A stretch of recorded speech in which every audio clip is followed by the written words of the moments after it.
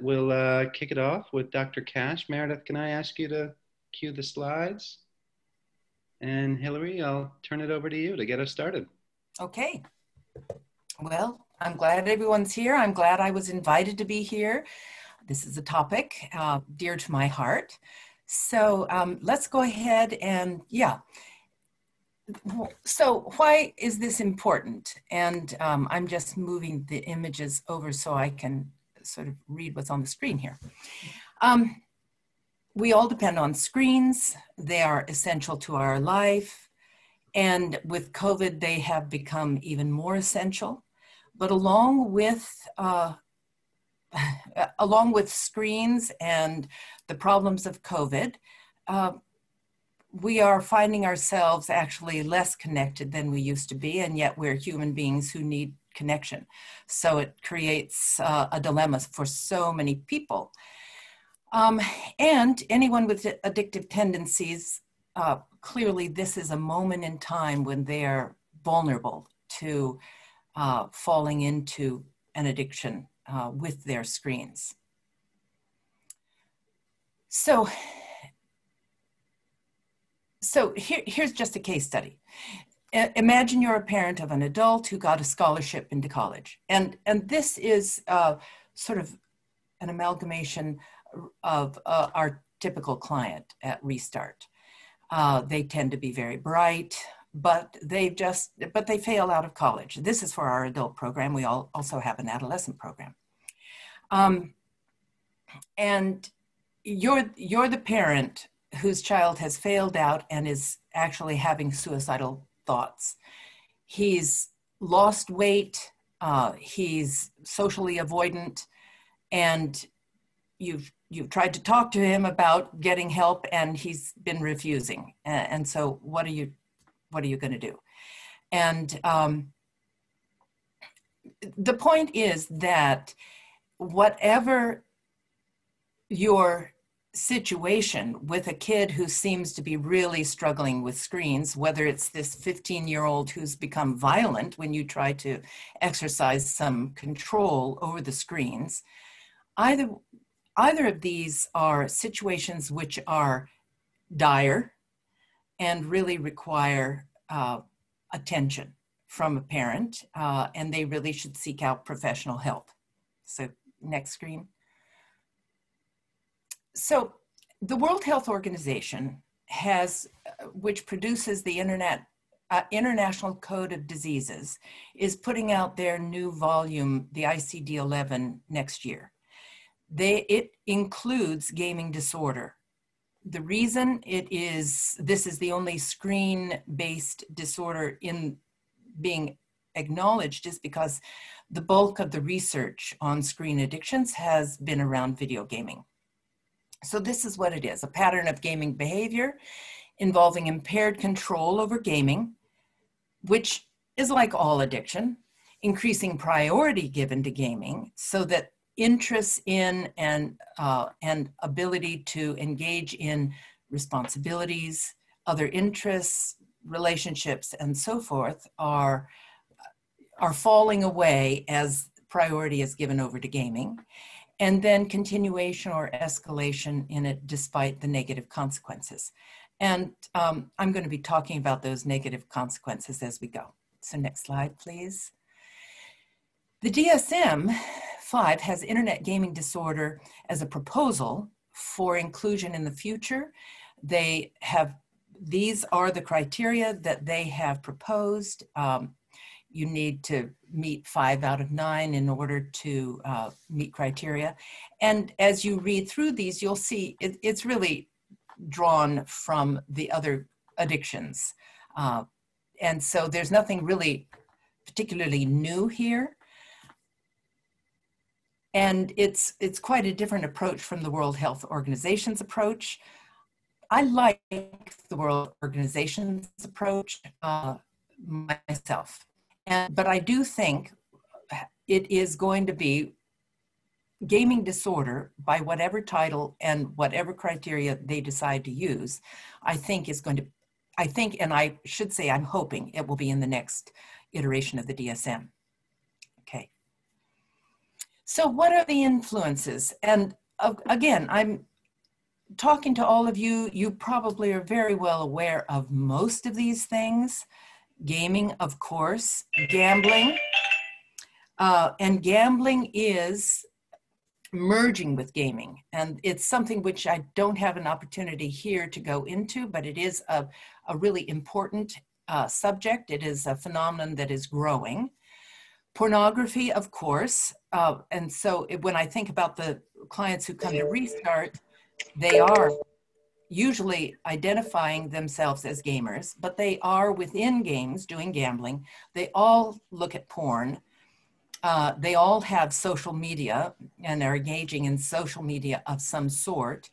And gamers, those who I really identify as gamers, also tend to be really drawn to uh, anime and manga. Uh, manga is the written form, and anime is the um, animated uh, and also drawn form, and they come out of Japan. Uh, these are stories and images uh, of a certain type, which are extremely popular with gamers. Random surfing, of course, we all do that, right? Probably at some time in, in our lives. And there's a strong overlap in the gaming community with some uh, antisocial sites. You may have, uh, I'm sure most of you have heard of Reddit. Uh, there are subreddits which gamers are drawn to, and some of those subreddits are pretty uh, racist and misogynistic. Um, 4chan is rather notorious. There are also communities online which are pretty um, really identify themselves in very misogynistic ways. So, and then there's the dark web. And the dark web is, uh, I'm sure all of you have heard of the dark web. Most of us never go to the dark web, but our very computer savvy gamers uh, often do know how to go to the dark web and have gone there and experienced uh, often some pretty traumatic things as a result of going there. Next slide. Um, because addiction falls along a spectrum from mild to severe, and it, you know, this involves the changes that are happening in the brain, in the pleasure pathways of the brain. When those pleasure pathways are overstimulated, the brain has to downregulate in order to, to function normally. That's tolerance. And when that process is starting to happen, you know, the addiction is mild. But as it goes along, obviously it becomes more severe. But because it can be mild, it can also be very difficult to discern. So looking for signs of addiction, and, and that really means signs of dysfunction, is important so that even if the criteria of addiction aren't met, um, those signs need to be those signs need to be taken seriously. And, and if you're working with families, um, they shouldn't wait until things have gotten bad enough to meet criteria for addiction. They should be nipped in the bud if at all possible. So next slide. So what are the problems that, uh, that stem from screen addiction? Depression is universal in the, in the clients we work with. They all come in depressed. Most of them come in anxious. The majority have uh, show signs of and often have the diagnosis of ADHD. All of these are, are common, the common diagnoses, and about a third of our clients are on the autism spectrum. And they often are very high functioning, so they may or may not have ever gotten the diagnosis, but they show those, um, they show traits. So um, what we see is that after about a month of detoxing, most for most of them, the depression has remitted, anxiety is down, uh, they can attend and think better, and over time, they often, if if they're if the ASD traits are traits of inability to read social cues just if if they work with with us or you folks long enough, um, you know, they can begin to learn those social cues and they appear less and less, uh, those traits of ASD might appear less and less. So we are always a little bit skeptical about those diagnoses. And if somebody has been uh, diagnosed with depression, but their screen addiction has never been addressed, um, and they've been put on medication for depression, what we find is that often after a period of time away from screens and getting sleep, uh, eating well, getting exercise, being social, that lo and behold, uh, they're not depressed anymore and they want to go off that medication. We're also skeptical about the ADHD diagnosis because if you've got a kid who's been whose brain has really been wired for a short attention span and who's been overstimulated isn't getting enough sleep poor nutrition so their brains are not able to create the proper neurochemicals you're going to have someone who looks like they have ADHD but the reality is they really may not have ADHD and and yet they as a child might have been uh, taken to a doctor who said yeah showing all the signs of ADHD, let's put them on medication. And then you're going to end up with someone who's addicted to speed. So we just tend to be skeptical. Uh, iDisorder is a term uh, coined by Larry Rosen, who wrote a book by that title. iDisorder really refers to how personality disorder traits taken from various personality disorders tend to coalesce with folks who've grown up with screens. Too much screens, too early in childhood, uh, can rewire the brain to create uh, a personality disorder that he's calling an iDisorder. The, the traits drawn from other personality disorders that we typically see are dependency, avoidance, schizoid characteristics, um, narcissism, and uh, antisocial personality disorder. They don't, most of our clients don't meet criteria for a recognized personality disorder, but they show the, this, this coalescing of traits together. And that's very common.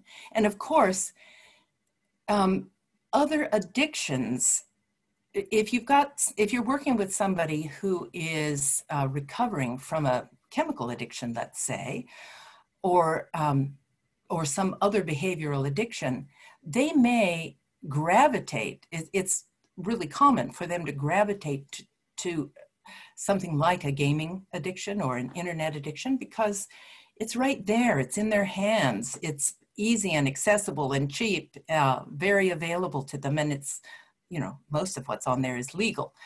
And so, um, yeah, it, it's really important to understand that that can be a real uh, vulnerability, somebody who's trying to cope with some other addiction. We see physical health problems, weight gain, weight loss. It's not unusual for somebody to have be 30 or more pounds, either underweight or overweight. It's remarkable to to watch somebody uh, you know who's with us a long time start to put on the weight the healthy weight you know muscle weight because they're working out and eating well or or losing amazing amounts of weight just because they are living now a healthy lifestyle. Sleep is always a problem with the clients who come to us. Gamers very typically uh, are not getting enough sleep. Their sleep cycles are topsy turvy.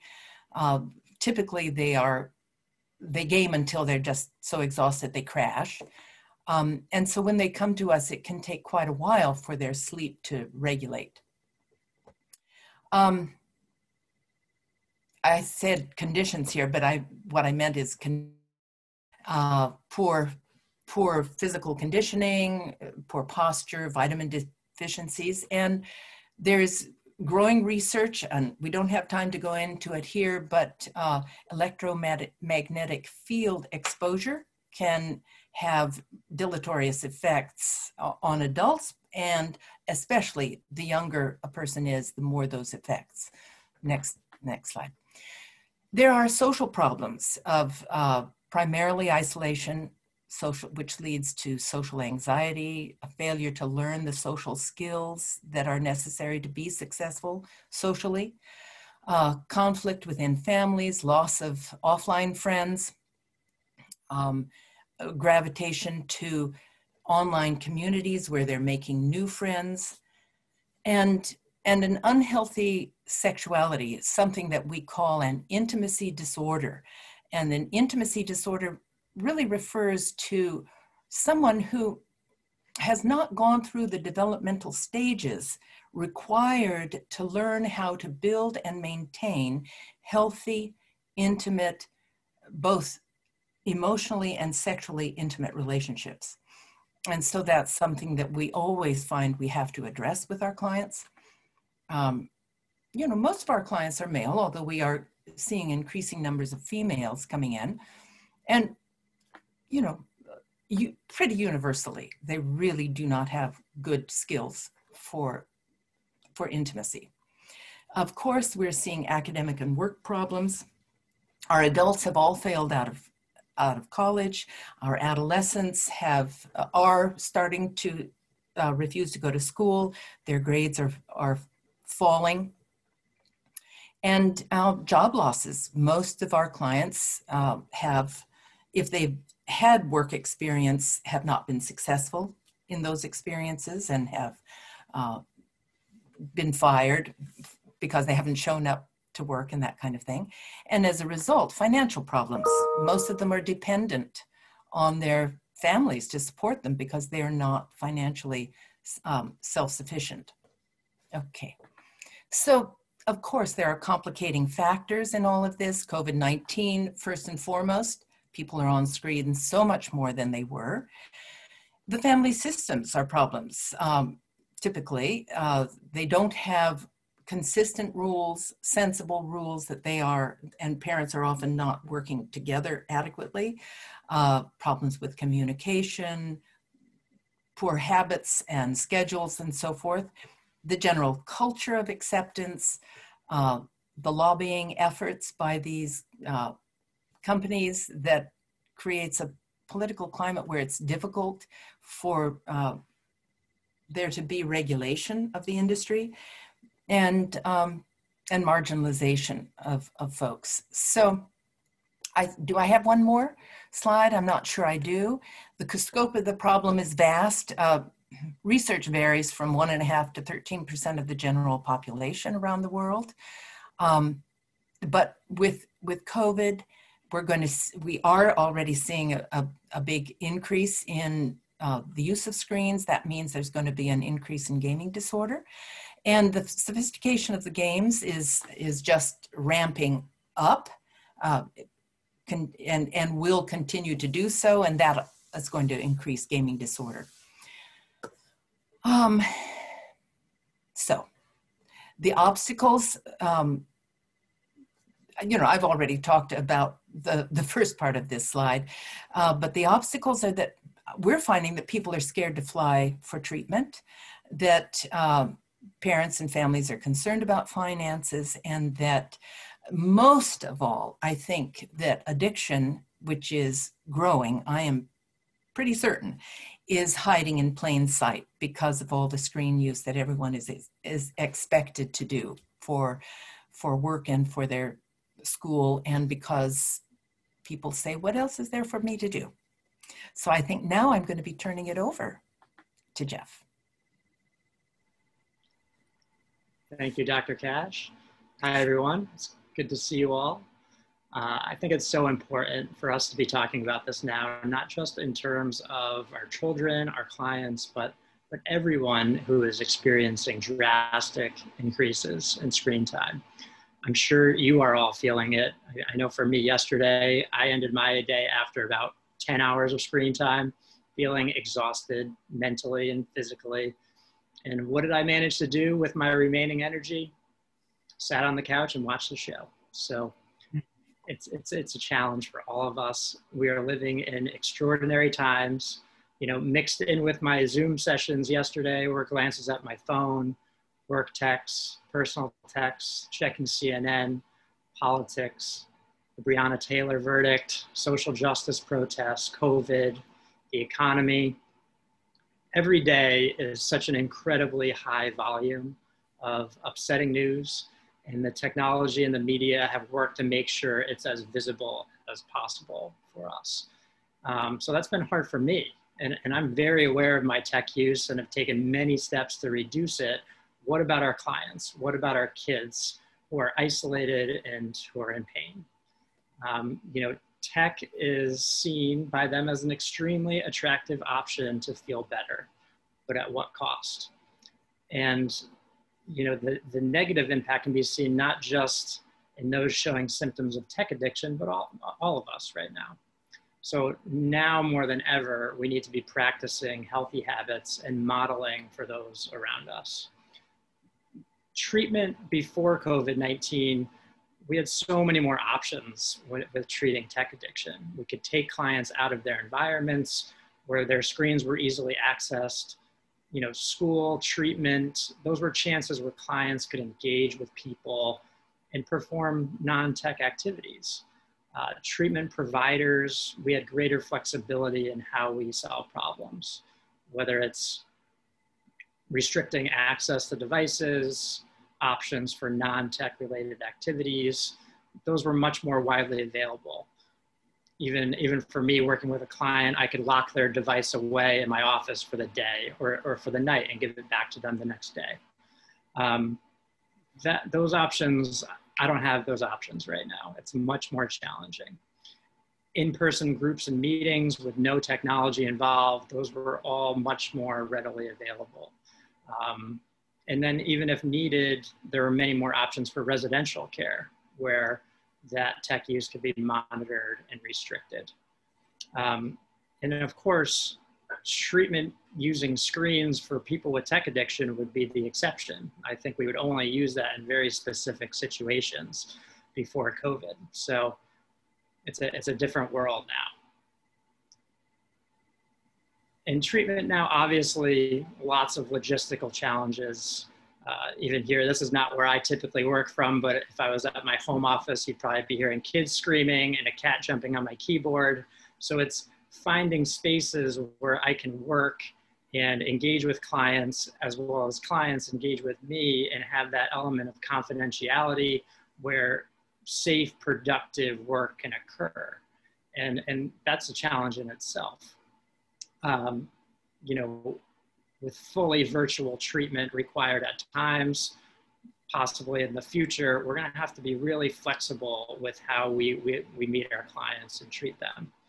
Um, I think with, with virtual clients, we probably have all seen, even in our professional Zooms at meetings, how, how clear it can be where someone's looking at their phone, looking off screen, taking a walk, getting a break. It's, you're so easily distracted um, when you're not in the same physical space as who you're working with. Um, you know, I know I've had a group where it's a really serious process group and, and clients are working through things. And I look up at a client and I can see in the reflection of his glasses that he's playing a video game. And, you know, all of these group norms and dynamics at play that are so challenging in general have a whole new layer that we have to explore. So developing a, a new set of group norms is necessary and having these difficult conversations about how can we navigate this a little more effectively.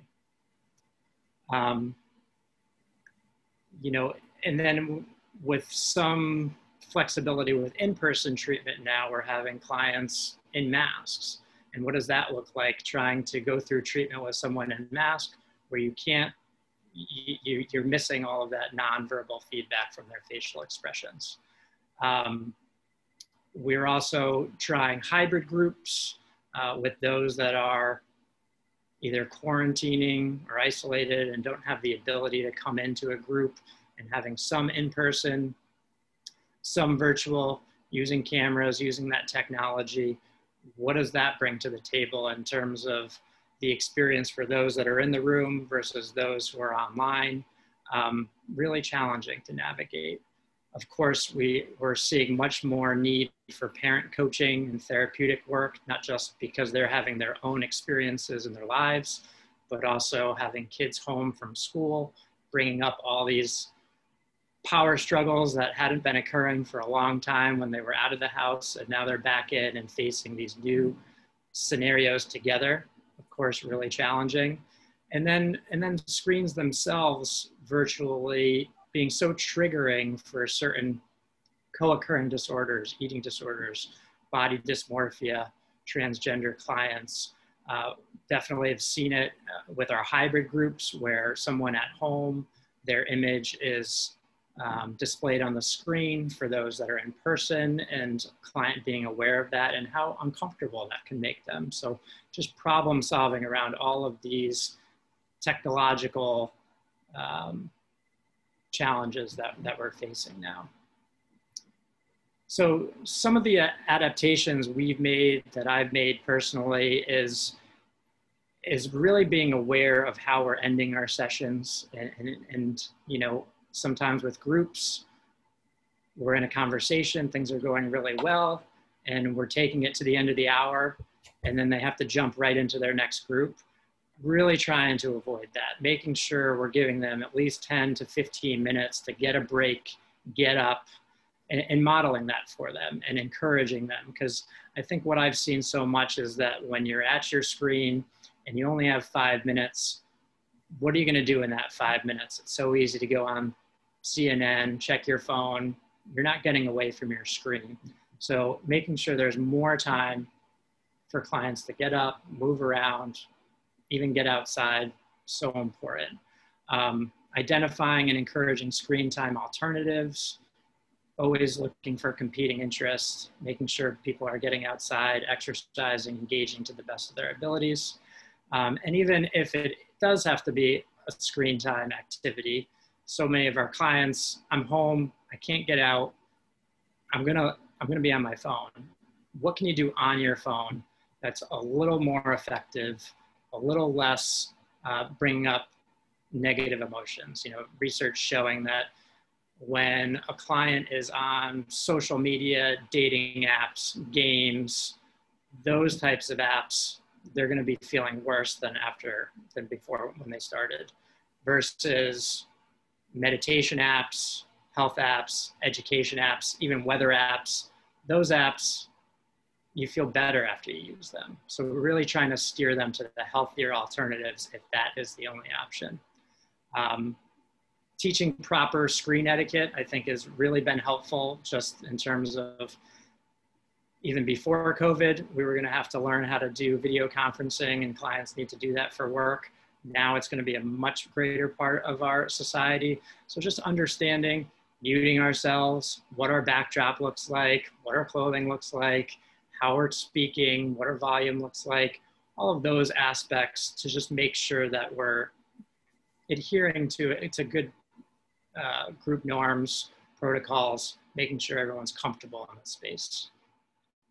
Um, something else that has been so important is really implementing a lot of in-person events and sessions when possible, taking clients for walks, um, bringing our community together and doing a picnic in the park, opportunities that it's not easy, we're socially distancing, but giving us a chance to engage outside of the little box on our screen.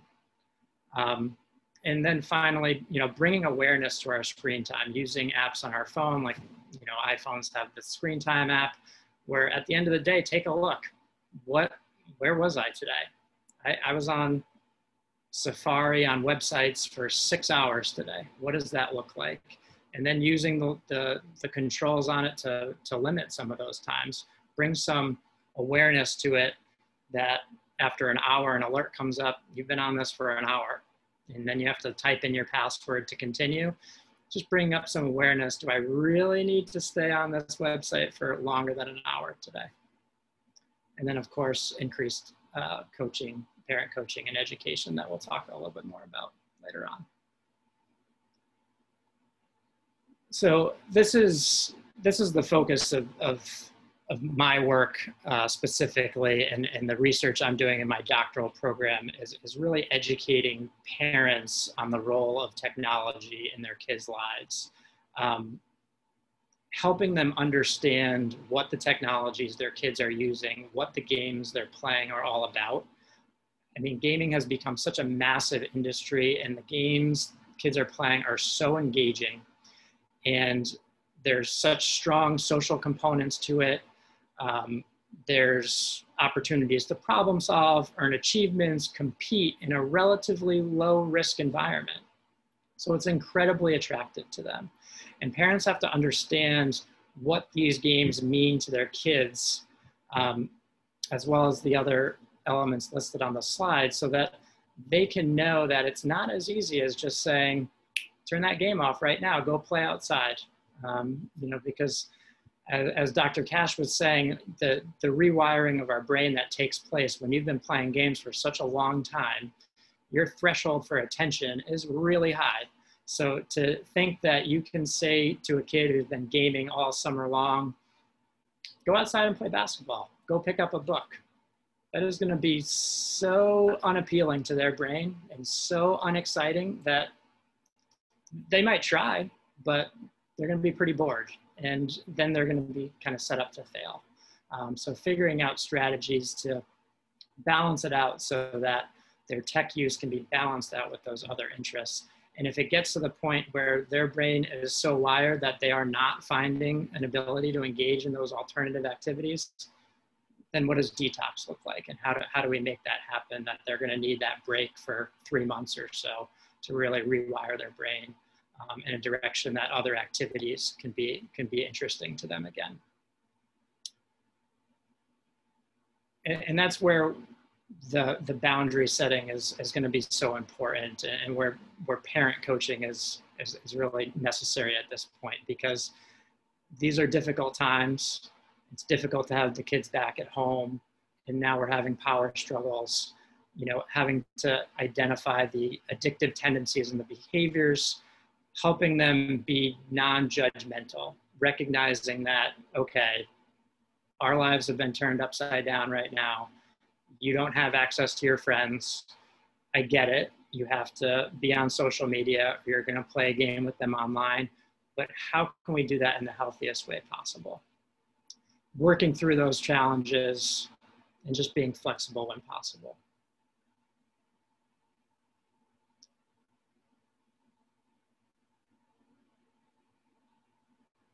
You know, and, and I think it, it's a family issue, and, and so it's really important to establish family norms um, around technology, setting up technology-free zones and times, and then you know something that's been especially for me with younger clients. I've worked at high school, middle school, and, and working with parents on the power struggle of getting kids to turn off games, and it becoming really a means of collaborative problem solving.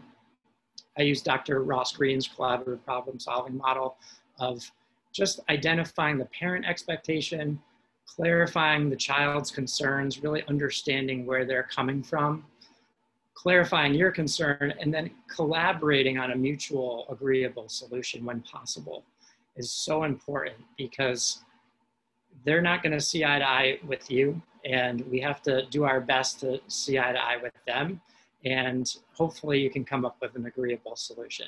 If not, if it's at a point where their gaming addiction has really set hold, then being able to support setting firm boundaries when necessary. It's my house, these are my rules, this is where we're at, stick to it. And prioritizing non-tech activities. Um, and with that, emphasizing role modeling, um, stressing the, to the to parents managing your own anxiety. This is stressful for all of us. We're all having an unhealthy relationship with technology, or many of us. And how can we model healthy and positive screen usage? Um, that could be not starting the day or ending the day in front of a screen, establishing good routines, morning routines like taking a walk, doing meditation, nighttime routine, calming, relaxing, promoting healthy sleep hygiene, as, as Dr. Cash mentioned, sleep hygiene so important um, with our gamers and that they're tend to be up really late on tech and it is, it's not gonna make, um, not gonna make for a healthy lifestyle. Um, and then for ourselves, investing in personal self-care that does not involve screens, sending a powerful message to our kids. And because they're paying attention, they're paying attention to what we're doing. And here we just have, you know, a, a lengthy list of resources um, that I think everyone will find helpful, and these will go out um, in our materials that we can send out after. So thank you. Thanks, guys. Thanks for that really important um, presentation on a really complicated topic, given where we are in the world right now. And I love how you guys are giving a presentation about screen addiction, and we're all sitting behind our screens while listening to this presentation because we would normally be probably sitting in a circle or in a conference room. So it's challenging.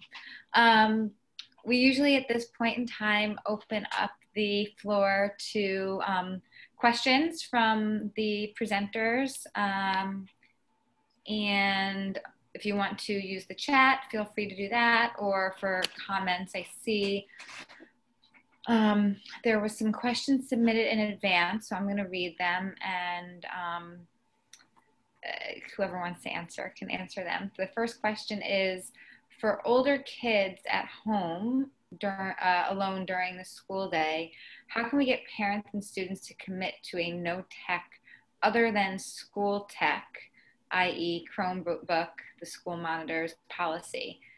Parents feel a phone, a smartphone phone is needed for the child, which is distracting. So let's start with that one. Jeff, why don't you jump on that first? Sure. Yeah, I mean, I'm, for, for me, I think that is the collaborative problem solving approach in terms of uh, identifying your concern. You're here, you're, you're home for school, and school is your responsibility. And, you know, hear their concern. I want to take a break, I, I need to do this. Um, but I, I think that is a situation where you can direct them that this is, if you were at school, you would not be playing a game for an hour or doing anything like that. Um, so just coming up with some type of mutually agreeable solution to this that at lunchtime you can use your device for a half hour but other than that it's after school only and then if it comes to it monitoring I, I mean right now we have such great access to devices technology to monitor what's going on at the kids on the kids' phones, on the kids' devices. Um, so I think that is important to do if it comes to it and just bring attention to it um, and, problem solving. You, you put the solution in place. If you're, if you're touching base and checking on them and you're seeing that they're not adhering to it, where was the obstacle? What happened? And what can we do next time to make it better? I think it's uh, very important to challenge parents who think that their kids should have smartphones. Um, it, it kind of depends what age we're talking about. Um, I think that uh, any kid who is younger than high school age uh, should not be having a smartphone. It is too powerful a device. It is, uh, and and as an alternative, because uh, they are such status symbols now for children, there's something called a Gabb phone, if you're not familiar with it, highly recommend it. And the Gabb phone can have uh, be a phone that absolutely looks like a smartphone but doesn't have internet access. And um, that becomes a way to maybe satisfy a child's craving to fit in and look cool enough, but but protects them from uh, internet use that they're not ready for. And I also think that um, a child who's in high school, where you, if you decide that you, this is a child who is highly responsible, getting their schoolwork done, be, contributing to the family, not you know not giving you a hard time about the the rules and the limits that the family has agreed on, that's a child who that you can experimentally let them have a smartphone in my opinion and and then and just let them know you know if if if it turns out that you're just not ready for that that's okay. We'll you're just not ready and we'll try it again later when you're a little bit older and maybe have a little more maturity. So that actually segues really nicely into question two that came up which is um, in essence asking you know how do we really help parents to be able to handle the discomfort of knowing that your teen is going to be really mad at you um, when you take away their technology? Um, how do you help parents navigate that? Jeff go ahead. I'll have my comment too but you, you can start well i was kind of hoping you could answer that for me because i struggle with that because i don't always know the answer to that one. I think it's hard.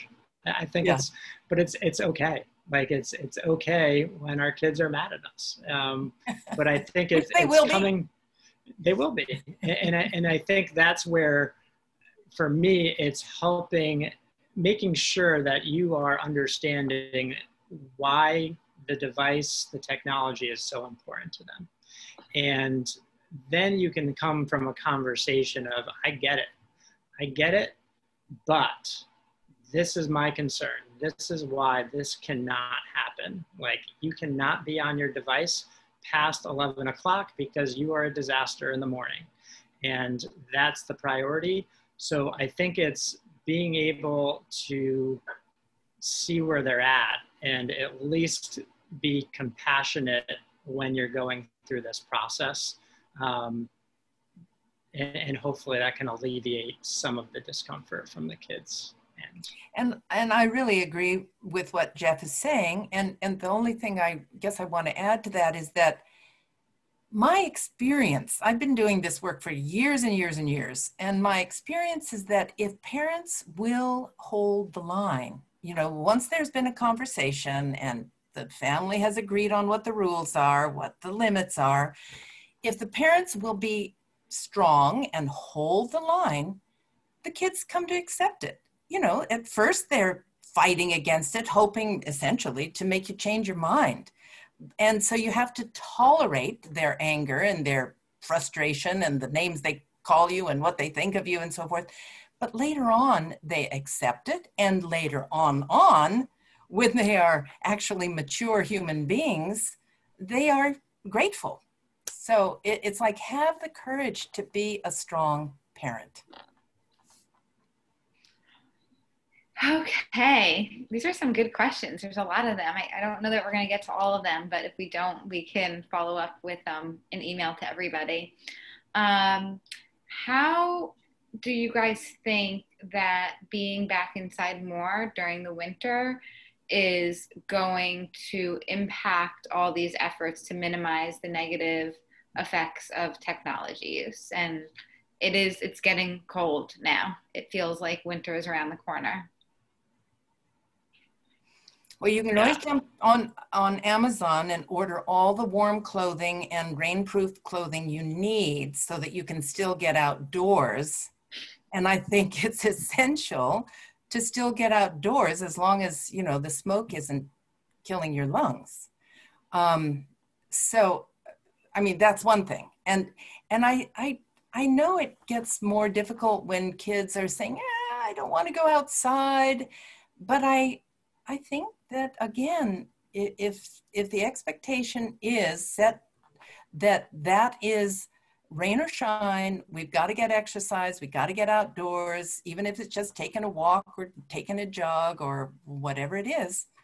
Um, I think it's important that kids, I mean, it's essential that kids move. If the weather is so horrible, they can always, you know, you can, again, you can order it delivered to your house if you don't want to go purchase it in person. But, you know, you can have weights. You can, there are all kinds of creative, um, really good programs with a screen, uh, you know, YouTube programs or whatever. And the family can do things together, you know, um, Zumba or something. So I just think there are, Thank you. winter, you can still do it. Mm-hmm. Yeah, and, and, alternatives, alternatives to, to screen time inside, puzzles, coloring, arts. You know, it's been awesome to see. Like, we've been doing puzzles every night at, at my house, and we try to buy new ones, and they're sold out because everyone's doing it, and the kids see mom and dad doing it at night, and they want to do them too. So I think it's just modeling other activities that um, kids will also be interested in. Mm-hmm. There's a question that came in about um, sleep issues. Uh, uh, the question is, is saying, what, what skills do you use to teach uh, or to help with sleep hygiene, basically? Many clients struggle with sleep, um, either falling asleep or staying asleep. Uh, how, how, do you, how do you help with that? Well, of course, at Restart, when they come in, they are away from screens for a long time. The worst client we ever had was someone who hallucinated. He was so sleep deprived, he hallucinated while he was awake. And he had been sleep deprived for years. Um, it took him six weeks away from screens before his body regulated enough that he could start sleeping, having actually having a night's sleep. So if nothing else works, just a, a, a, fasting from screens for a good long time can help the body reset itself. And, um, and, and otherwise, of course, there are just the, the rules of turning the screens off an hour or two before bedtime. Uh, allows the melatonin to rise in the bloodstream, making people sleepy so that they want to go to sleep, having schedules and sticking to schedules, which in some ways is easier in the time of COVID, I think, uh, to sort of stay on top of that. Those are some of my suggestions. Jeff? Yeah, no, and I would just, I agree with all of that. I would, I would add meditation and mindfulness as like yes, the next piece, and, and, especially with gamers. I, I, encourage you all. I used to run groups with high school gamers, and we would we would play the quiet game, and that was my introduction to them for meditation. And it's distressing when you are a gamer to sit in silence and quiet. Um, and so it's that distress tolerance that needs to be developed a little bit. Um, but it opens up that whole avenue of body scans and meditations, and it's such a powerful thing um, for them to be able to shut down and really de escalate uh, at the end of the day. Yeah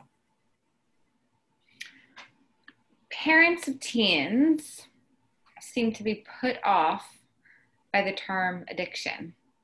Uh, this is with regard to anything, but particularly with regard to technology. Uh, any thoughts on how to manage this this term? Yeah, I, I, we we encounter it at Restart quite often. People don't like the term addiction, so uh, of course, you can talk about a gaming disorder, which is the official term in the ICD, but you can also just say, you know, unbalanced screen use, screen overuse, terms like that are just fine. What do you use, Jeff, when you've got a parent who's uncomfortable with that? I'm just trying to establish a healthy relationship with technology. That's, right. that's what we say with our digital age group. Uh, we yep. always say we're here to have a healthy relationship with technology. Um, this is a good one too. We see this a lot. How do you differentiate a gaming addiction versus a passion for gaming? Um, I have clients that identify themselves as gamers and would like it to be their career and are going to school for video game development. When do we discourage addiction versus foster passion? I think uh, so. Uh, I'll just jump in, and then Jeff can can say his thoughts on this. I think that what is important is to think in terms of um, a pie chart. I find it useful to think in terms of a pie pie chart. So, what does mm, you know a, a young adult who wants to be uh, a professional gamer? What does any young adult actually need for a healthy, balanced lifestyle? They need enough sleep. They need exercise. They need face to face social interaction, if at all possible, even during this time of COVID or you know this kind of a zooming experience if, if nothing else is available um, they need to take care of themselves in, in a myriad of ways and then if they are you know and then if they want to be professional they can devote eight hours a day or six hours a day to their craft. But it, what happens with addiction is that that wedge of the pie that is the their craft if that wedge is growing it's squeezing out all the other things that are the necessary healthy parts of life that that people need to be healthy and balanced. And so that's what you that's what you look for is uh, is is there a healthy balance of all the things that really all of us need Thank you. Yeah, I, that's an awesome image. I will be using that. Thank you for that. um, but I think I agree completely. I think it's when you start to see when it starts impacting, when there's negative impacts on different parts of your life, whether you're not able to maintain relationships, all the, all the parts of the diagnoses we've seen in the slides. Um, but I think it brings up a very difficult conversation because of the extent of the gaming industry now these are career paths and these seem realistic to kids growing up. They're seeing people on YouTube making millions of dollars playing games, talking about games, making games, playing games competitively. So there are so many avenues that seem pretty attractive to gamers.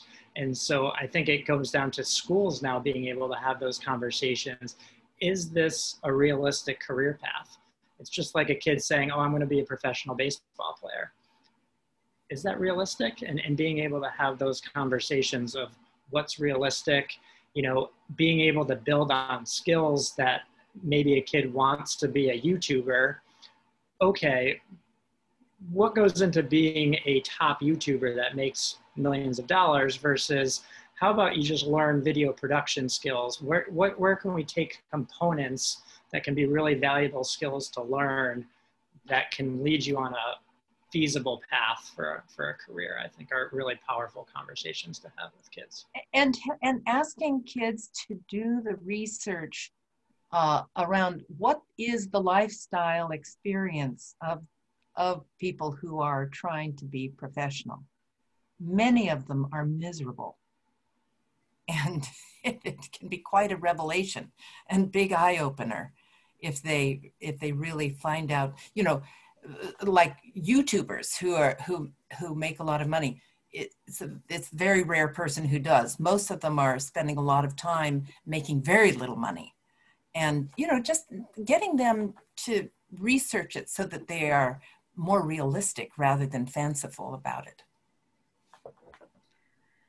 all right, guys, there's more questions, um, but I am cognizant of our screen time and what the time is right now. So we'll make sure to address some of these follow up questions in the email that goes out following um, the presentation today. But thank you all. I know that John wants to um, close us out quickly. Perfect. Yes, thank you. Uh, thank you, Hilarie. Thank you, Jeff. That was um, a uh, extremely thoughtful um, conversation and, and I think one that, that certainly will continue in the, the weeks and months to come.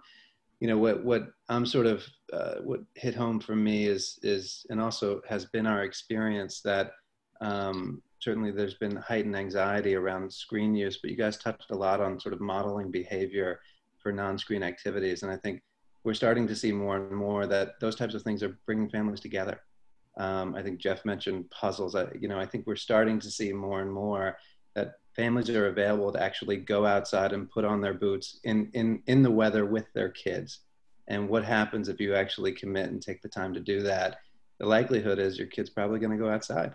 Um, and you can do that together. So um, I wanted to end on that note. Um, thank you both for that. Um, we come together and do this every Thursday. Um, next Thursday at three o'clock, we've been hearing more and more about this sort of concept of forced failure to launch um, as more kids are actually back at home.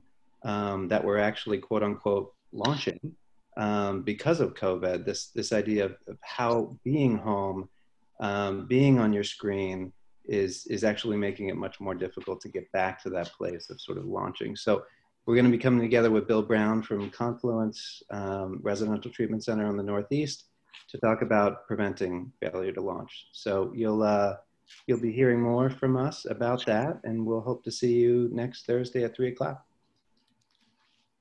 Thanks, everyone. Thank you, Hilarie. Thank you, Jeff. Really great presentation. It was a pleasure. Thank Take you. It was a pleasure. Thank you, Johnny, if you're still here, for all your help. Thanks, everyone, for attending. Hi, Ed.